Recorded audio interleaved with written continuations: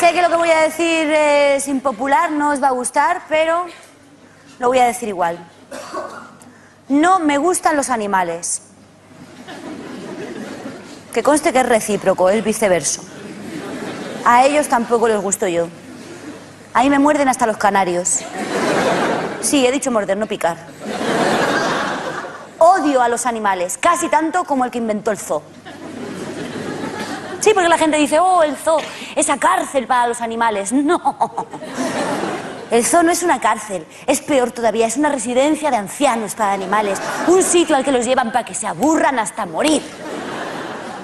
Si vais al zoo, por favor, no tiréis comida a los animales. Tiradles revistas, periódicos, prensa en general. Si esos pobres bichos se lanzan como locos a por los caramelos, no es por gula, no es por hambre, es por leer los envoltorios. Y al que pido, por favor, que no le tiréis ni comida, ni periódicos, ni nada, es a Leo Harlem. Gracias. Muchas gracias. Muchas gracias.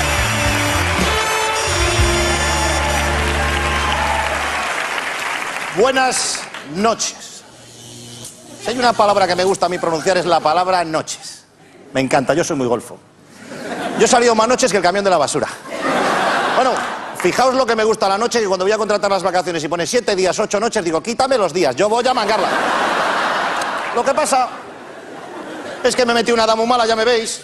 La edad de los metales. Pelo de plata, dientes de oro y lo otro de plomo, un desastre.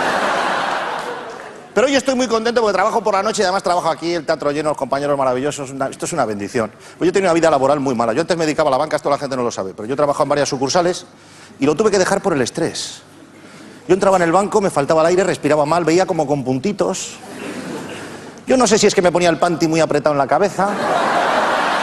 Luego, sí, la, la recortada quieras que no te quita mucha movilidad. Y luego las promociones. Yo había veces que iba a atracar y salía con un juego de tres sartenes. Pues no te compensa. Ahora estoy viajando una burrada. Mira, acabo de llegar de la India, un país... ¿Habéis estado? Bueno, un país un poco rarito. Pero tengo que reconocer que me ha enganchado totalmente. Yo iba para una semana, me he tirado tres meses. Se ha puesto una vaca en la puerta del hotel. No había Dios que saliera de allí. He estado tres meses comiendo chocolatina. Allí las vacas hacen lo que les da la gana.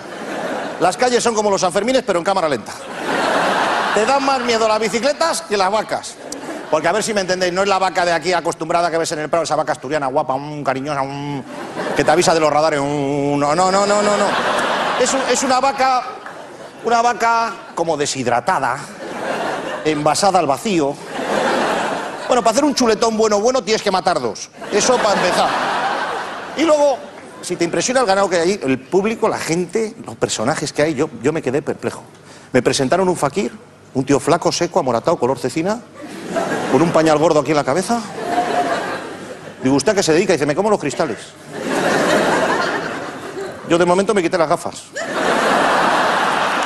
Digo, claro.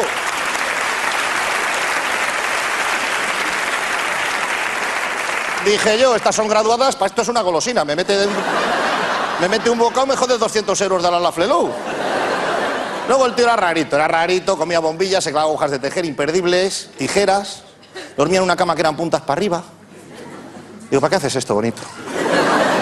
Dice, para sufrir. Digo, hazte socio del Atlético Madrid, te dejas de pijada. Y luego, otro punto relevante es la comida. Y la comida no es que pique, es otro concepto, te ataca a ti. Yo me pedí un plato curry al curry con salsa de curry y guarnición de curry. Le metí una cucharada. Se me fundieron dos empastes. Me dijo el camarero, ¿qué va a haber? Digo, acércame el extintor, que esto es una llaga pura. Pero luego también tienen cosas impactantes. ¿eh? Tienen un río, el Ganges, seguro que lo conocéis, sois gente culta, el río Ganges. Es un río sagrado para ellos, así que a ver cómo lo digo con educación. Allí hay mierda para aburrir. Van allí, ¿sabes? Van allá a purificarse. Van allá a purificarse, pues ya que se purifi- purifican, purifican todo. La moto vieja, la lavadora, un infernillo. Si os han robado algo en los cinco últimos años, está en el Ganges fijo. Eso así. Ojito que hay que echarle dos huevos para meterse allí, ¿eh? que echar dos huevos. A José Tomás, el torero de Galapagos, le tuvieron que empujar. Decía, caca, caca, ganges, no, ganges, no, no, no, para adentro. Yo me metí a dar mucho chapuzo, me metí un poquito allí, a reflejarme lo mío, y de repente vi un brazo flotando. Coño, que tiran los muertos dentro. Yo lo cogí y digo, ¿de quién es esto, por favor? Dice un tío de mi cuñado, digo, pues ponle unos manguitos o algo, ten un poco de sensibilidad. Oh, gente, de verdad. Ahora, una cosa que siempre me ha captado magnéticamente son los grandes espacios abiertos. La naturaleza en estado salvaje, la Antártida. He estado.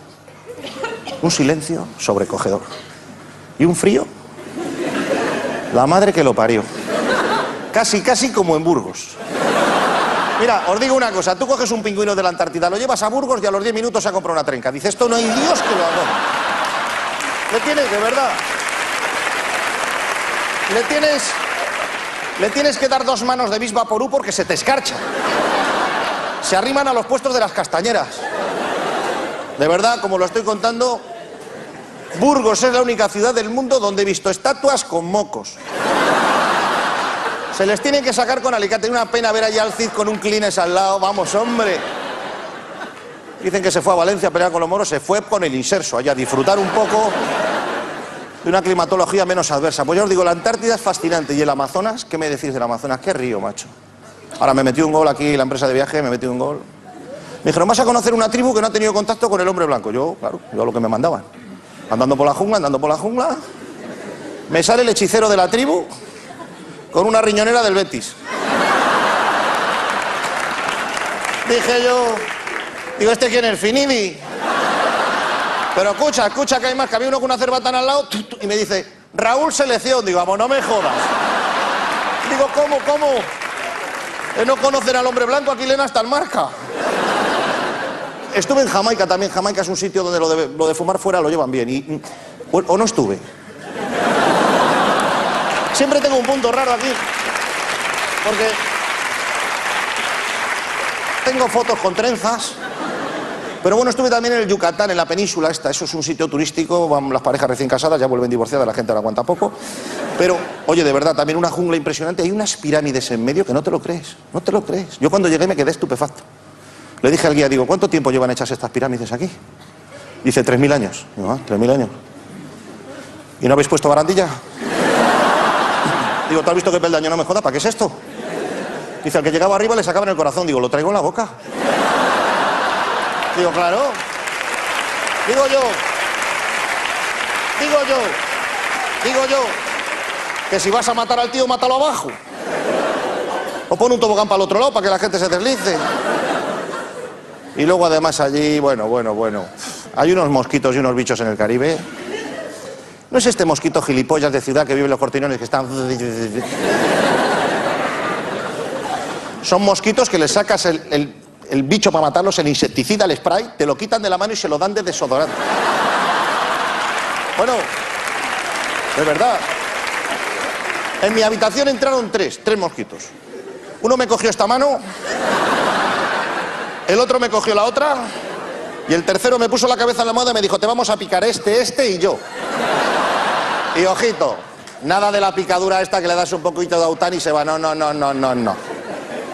Orificio de entrada y salida. Dos y tres trayectorias.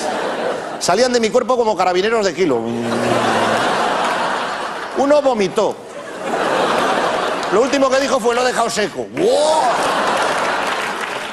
Le tuve que decir al del hotel, pon una malla alrededor de la cama, pero la electrificas. Bueno, pues al día siguiente la habían cortado con una rabia. Y luego, claro, hay unos sapos y unas ranas allí. Claro, claro, es que según el mosquito tiene que ser el sapo. Yo me senté en uno creyendo que era una piedra. Empecé a escuchar ra, ra, ra. Digo, me está llegando un mensaje al habla ver. Ni mensaje ni nada, me tiró un lengüetazo al tobillo que si me engancha me deja doblado. Y luego aún así no me desanimo para viajar porque es importante. Yo a la gente joven les recomiendo que viajen, pero un poquito de presencia, hay que cuidar las cosas. Veo mucho mochilero, mucho chaval abandonado de estos. ¿Me entendéis, no? Unos pelos donantes de uñas muy desagradable. Pero hace poco vi uno Hace poco vi uno en, en Medina Río Seco, provincia de Valladolid, iba con el coche, paré al lado, bajé la ventanilla, se me acerca el tío y me dice, me falta mucho paleón.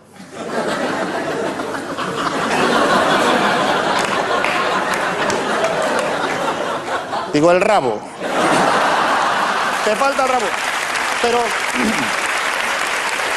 ¿sabéis lo que pasa? ¿Sabéis lo que pasa? Que yo soy muy de ayudar a la gente y le subí al coche, menuda idea tuve. Se me secó el pino del ambientador. Se me despegó la ventosa del parabrisas, que ahora con saliva no va, la tengo que mojar con anisete. Se quitó una chancleta que gas sarín. El perro de la parte de atrás del coche llorando.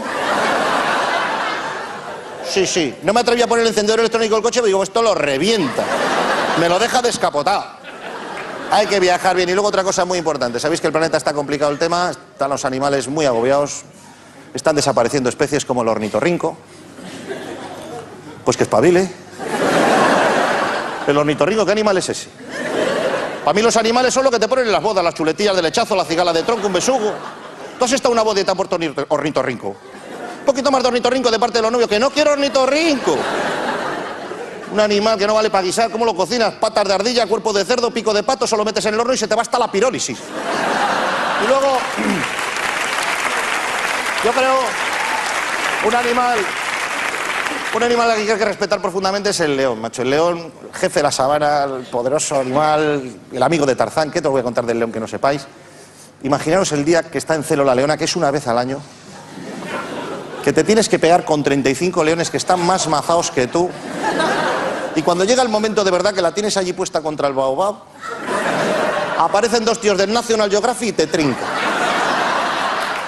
Tú imagínate que nos hicieran eso a nosotros. Ligas en la discoteca, un poquito pendoneo. Llegas a casa, pones el CD de las baladas de Scorpions, dices, soy remato. Y cuando estás a punto del momento hay dos ardillas dentro de un geranio desde el balcón que te están trincando. Viajar con respeto. Muchísimas gracias.